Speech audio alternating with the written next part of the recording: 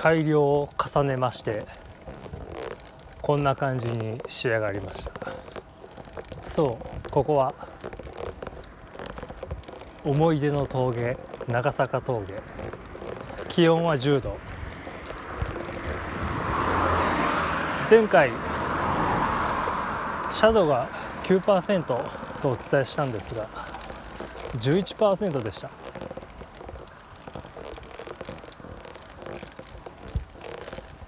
だから何っていうことなんですけども。今日はですねもうここはゆっくり通過していきたいと思います。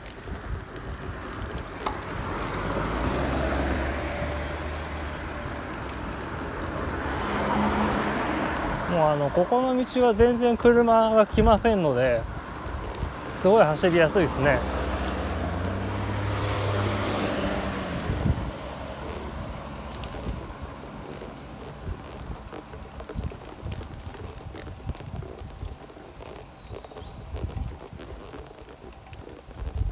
この辺はねまだシャドウがそんなにきつくない。緩やか緩やかでもないですけどそんなにきつくない。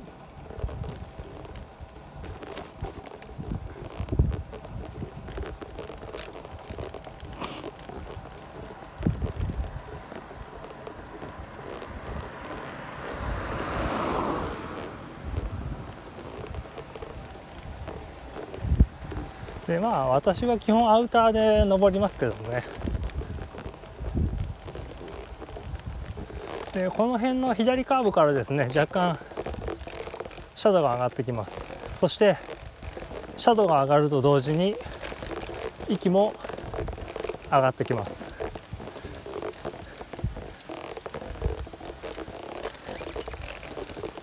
いやでもやっぱりこの速度だとアウターはしんどいですね。ちょっとインナーにインナーに入れようと思っているわけであります。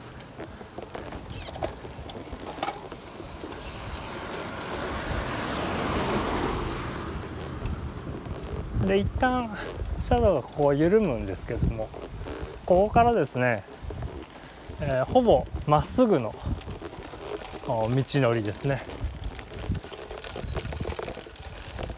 つづら折れ等もほぼなくただただまっすぐ登るという。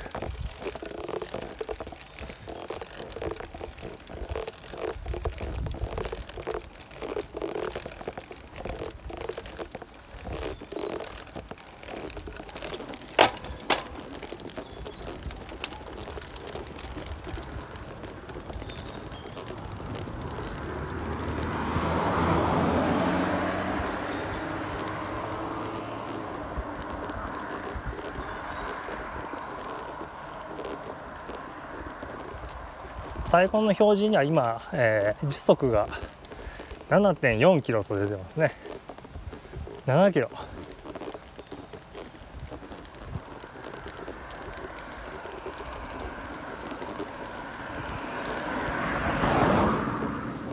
あの7キロっていうとですね大体どれぐらいかというと人が、えー、7キロの速度で歩くぐらいのえ速さですね。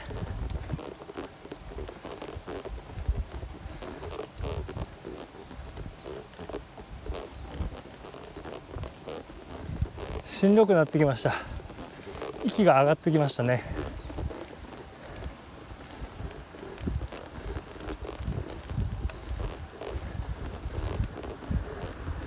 でタイムアタックしてる時はですねこの辺ぐらいからだんだん呼吸が上がってきて喋れなくなってきますね。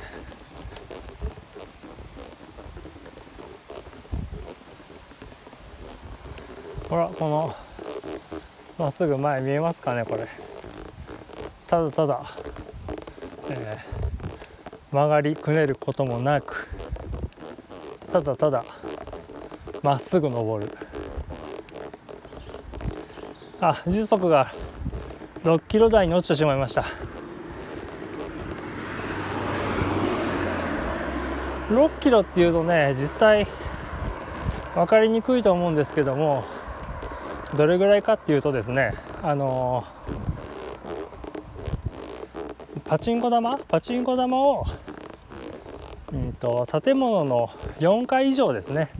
4階以上の建物からですねこう落とした時にですね、えー、落下していくと思うんですけどもその落下がですね、えー、6キロの時があと一緒ってことですね。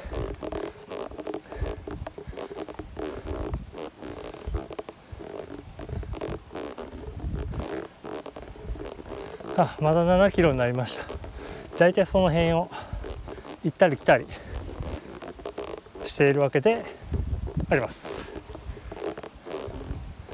これ結局ですね 速く走ってもゆっくり走ってもですねまあ映像としては変わり映えないわけで誰も映り込まないですし何かマウンテンバイクのように飛んだり跳ねたりするわけでもない。そして多くの人がねこの道を知らないという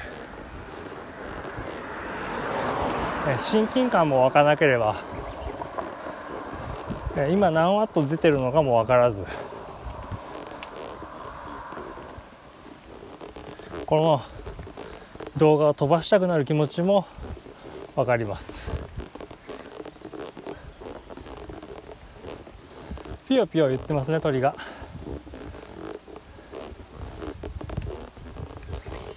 ほう法華経えー、法華経と聞いて思い出すのはやっぱり隣の山田君ですね。平成たぬき合戦ポンポコと並びたぬきって聞くと平成たぬき合戦ですよね。で法華経と聞くとえー、隣の山田君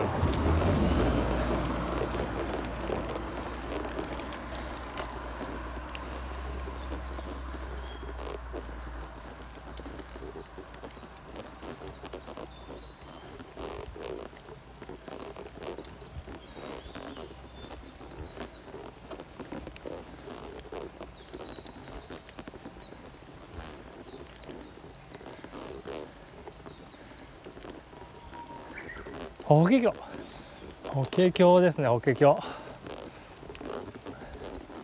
えー、大体この辺でですね、えー、3分ぐらい。2分半から3分ぐらいですかね。一生懸命走ってる時はですよ。でこの先ですね左コーナーがあるんですけどもそこでね車道が緩むんですね。その際にですねやっぱり心理的にこう休んでしまうんですねでそこをねいかにこう自分に打ち勝つかというところが、まあ、この峠の攻略ポイントの一つになってると思いますね。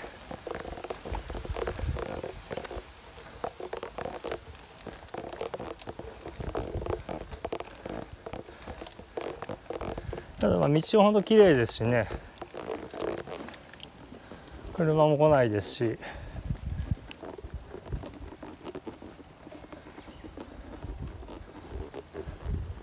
私は好きな峠ですけどもねここをリピートしようとは思わないですね。好きというだけで。好きとおかわりするのとは一緒かっていうとねそういうことではないあのー、最近ですね特に食べ物にこだわりのない私なので、まあ、自炊をずっとしてるわけなんですけども何食べてるかっていうとですね、まあ、納豆と漬物で卵と白ご飯ですね。これがメインになってあとはまあ味噌汁があったりサラダを出したりと。出したりってまあ自分で作ってるんですけども、まあ、それをですねずっとずっとと言ってもですねそんな何年もやってるわけじゃないんですけども、えー、食べてまして。で昨日ふとですねちょっとステーキ食べたいなと思って。で、えー、買ったわけです。あれねにんにく醤油。えー、にんにくバター醤油で、えー、焼いてね、ね、ソースも作ったりなんかして食べたんですけどもね。あの半分食べた時点でですねもうちょっと気持ち悪くなってきてでも油がもうやっぱすごいんですよね。ですごいって言っても別に多分すごくないんですけど日頃食べてませんからちょっともう気持ち悪くて。まあ、なんとか全部食べたんですけどもそれからですね、えー、次の日の朝まで、えー、ずっと気持ちが悪いといういうふうになってましたからもうこのままいったらですねもう全然油物食べられなくなってしまうんじゃないかって思いますけどもね。食べれますか？油も。唐揚げとかはねいいんですよ。なんかあのね牛脂がダメなのかな。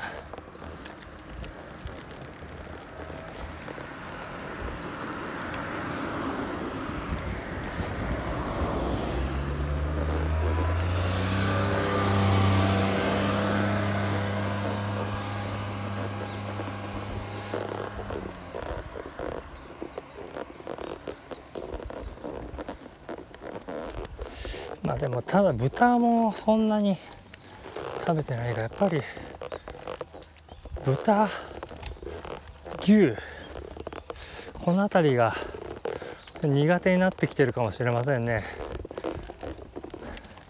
まあデブなんですけども食が細いというね。あの反対だったらいいんですけどもね痩せの大食いっていうのはね重宝されますけども。デブの朝食ってのは意味が分かりませんからね。食べてないのにデブっていうね。じゃあ運動してないのかっていうとしてますからね。有酸素大好きマンですからね。これ何なんでしょうね。世の中は不思議なことで溢れています。事実は小説よりきなり。そんなこと言ってるとですねこれもあと、えー、この先の左コーナー終われば、えー、頂上が見えてきますね、えー、全然、えラップを切ってませんので何分で上がってるか分かりませんけどもまあおそらく10分ぐらいかかってるんじゃないかなと思います。こういう道でですね練習を繰り返すと腰が痛くなりますんで、うん、やめた方がいいですね。ここはもうリピートするような峠じゃない。これも腰を痛める峠。腰痛峠西でございます。さあ。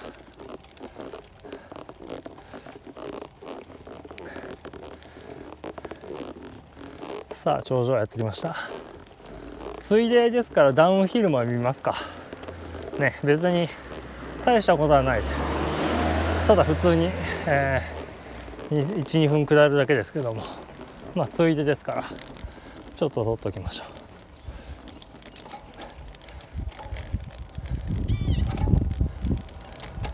大体ねあのコーナー中に強くブレーキする人がいますけども危ないですから。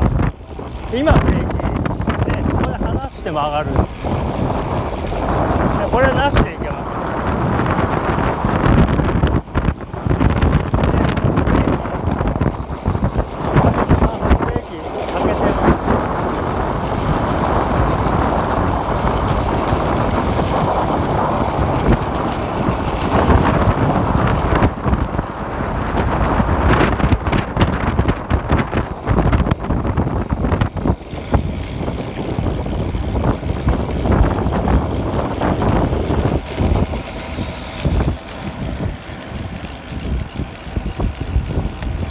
線で減速をしっかりして車体がね倒れてる時には、ねブレーキを解放するっていうこれ基本です。